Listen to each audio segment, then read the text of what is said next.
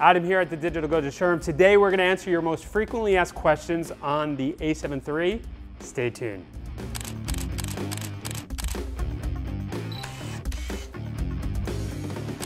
So if you just purchased your a7 III or thinking about buying one, this video is for you. We gathered the most frequently asked questions regarding this camera.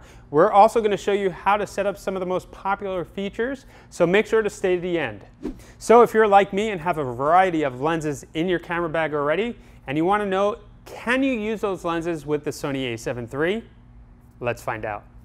Sony offers a wide selection of lenses for the E-mount system, especially the full frame like the a7 III, but like me, you might have a wide selection of lenses from other manufacturers in your camera bag, and you have adapters like the Sigma MC11 that offer you the ability to connect Sigma EF mount Global Vision series lenses to your Sony mirrorless camera, like the 100 to 400 millimeter lens that I have here. And you'll look over here, you have three different manufacturer lenses. You have lenses from Tamron. This is the 28 to 75 f 2.8 that will fit directly onto your Sony mirrorless camera and work beautifully. You have your Zeiss Batis line of lenses, and you have the Sigma lenses that fit directly to your Sony mirrorless camera with no adapter. The a7 III is a fully capable 4K recording machine. Now, what's the best SD card or what's the recommended SD card to use to record all that data? If you're gonna be recording in 4K, that's a lot of data that has to be transferred from the camera to the card, and you're gonna wanna use the fastest card possible. Now, the a7 III records to two memory cards. The first card slot is UHS 2, and Sony offers a G-type as well as an M-type UHS 2 memory card the G-Type is going to be the fastest card with read-write speeds of 299 megabytes. Uh, card slot 2 is going to accept UHS 1 cards. I definitely recommend looking into the cards that are as fast as Class 10 U3 V30 with a write speed of 95 megabytes per second. Uh, this is going to allow you to shoot uh, RAW and JPEG photos at the same time. Uh, or you can set up the camera to be a redundant recording media. So you can record stills on one card and it will copy that same image onto the next card as backup. So you might be in a situation where you cannot make any noise while taking photographs. Does the Sony a7 III have silent shooting? So you might be in a situation where this is annoying and you know you might be asked to turn off the shutter. Now the a7 III does have silent shooting and what you'd have to do is you're gonna have to go into your menu and you're gonna have to go to the second tab of the menu, the custom setting menu and go to page four. Uh, that's where it's gonna allow you to change your uh, shutter to a silent sound. And once you do that, you can now take pictures and nobody will know that you're releasing the shutter. This question is for all the people that are on the fence between buying the a7R III, which is the 45 megapixel sensor, and the a7 III, which has a 24 megapixel, but you also like shooting under low light. Which camera performs better in the high ISO? If low light photography is your thing, but you're also kind of liking the 42 megapixel sensor from the a7R III, um, and you're really interested in taking low light photography and want the cleanest image possible, now the, the a7 III has the same size sensor, but 24 megapixels. Uh, now this allows the photo sites to be larger on the a7 III. In fact, the camera is able to go up to an, a base ISO of 51,200 where the a7R III can only go up to 25,600. So again, if shooting low light is your thing, I'd really focus on the Sony a7 III. So it's really important to connect an external HDMI monitor to your camera when recording video and people want to know, could you use both the external HDMI monitor as well as the screen on the back of the camera to record video. I always recommend using an external monitor when recording video, especially with the a7 III. Um, now, when you first get your camera, what you're gonna have to do to set it up is go into your camera setup menu and to tab three of seven, go to your HDMI info display, uh, turn that off, and basically what that's gonna do is allow you to get a clean signal to your external monitor and have the ability to see the info displayed on the camera itself, on the rear LCD. Uh, now, if you want to shoot in 4K video, you're going to need a monitor that's able to accept the signal that's in 4K. Otherwise, the monitor is going to not display the information that's needed.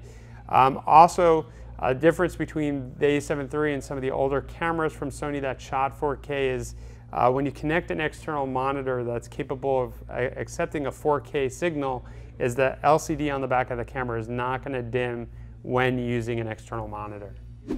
You can have incredible 4K footage, but if your audio sounds like this, people are to always switch to the next video. So how can you improve or what are some tips to improve your audio on the a7 III? So to improve the audio when using your a7 III, I always recommend purchasing an external microphone. The camera does have built-in mics, but I do not recommend utilizing the built-in mics for serious work. Now, Sony offers a microphone input with a three and a half millimeter uh, input jack, as well as a headphone jack to monitor the sound. Uh, but they also have a multi-interface shoe on the top of the camera. This allows you to purchase the XLR K2M uh, unit that gives you the ability to connect two microphones and it provides phantom power and you get a multiple or a variety of controls for the sound quality. Uh, now you can also purchase a microphone that will go on top of the hot shoe that would plug directly into the three and a half millimeter port if you want. Um, and also remember uh, the best audio quality if you're going to record dialogue is where the microphone is close to the person. Now, whether or not you want to use a wireless microphone like what we're using right now, um, or you want to use a boom mic, um, you'd be able to do that when using uh, an, a unit like the XLR K2M, or if you have a separate audio recording device. A lot of clients are requesting slow motion for today's videos. Uh, what's the highest frame rate and at what quality does the Sony a7 III record at? So the a7 III is fully capable of recording at 120 frames per second at 1080p. That means you're going to get incredible slow motion. So if you're looking to capture that surfer catching the wave in slow motion, this camera is going to do a phenomenal job. Now there's a couple different modes that you can choose for slow motion. You can choose a mode where the camera conforms the video to 30 frames or 24 frames per second from the 120 frames per second in camera. So you can export that slow motion right away, or you can choose the 120 frames per second and you do it in the computer. I would recommend choosing the, the latter. Uh, this is gonna give you your best quality. Um, if you're looking to do 4K and slow motion, at 4K, the a7 III is capable of shooting at up to 30 frames per second. What functions does the touchscreen have on the Sony a7 III? Let's find out. So the a7 III does not have a complete touchscreen, so you can't access the menu or swipe through the images in the playback. But what you do have is the ability to do touch and drag AF. In the photo mode, of course. Uh, so if you have the viewfinder up to your eye, you can use the LCD as a complete pad to move the focusing point to where you need it to go. You can also choose how much of the area of the LCD you want to use. Now for video, uh, you can set it up as uh, touch to focus. So when you tap the screen, um, it will actually focus in the area that you want it to.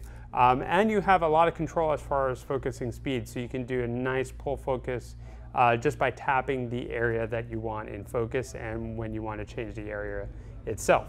So if you're a portrait photographer, this question is for you. How do you set up the eye autofocus on the Sony a7 III? Eye autofocus is extremely helpful when shooting portraits and the a7 III does a phenomenal job. Uh, by default, when you turn on your camera, the middle button in the control wheel is going to activate the eye autofocus. Now, the camera has a ton of customizable buttons that you can program for eye autofocus. So if you feel more comfortable using either C1 or C2, or if you have a lens that has a custom setting button on it, you can program that button to activate the eye autofocus. Now, the best settings that I feel work well with eye autofocus is when you have your camera set to continuous AF, as well as wide tracking AF. So that wraps it up, folks, with our frequently asked question video. If I didn't get to any of your questions, please make sure to leave them in the comment section below. If this video helped you out, remember, hit us up with the like button underneath, subscribe to our channel, and if you're in the Miami area, come by, say hello at the Digital Goja showroom. Adam here, keep on shooting. I'll catch you in the next video, folks.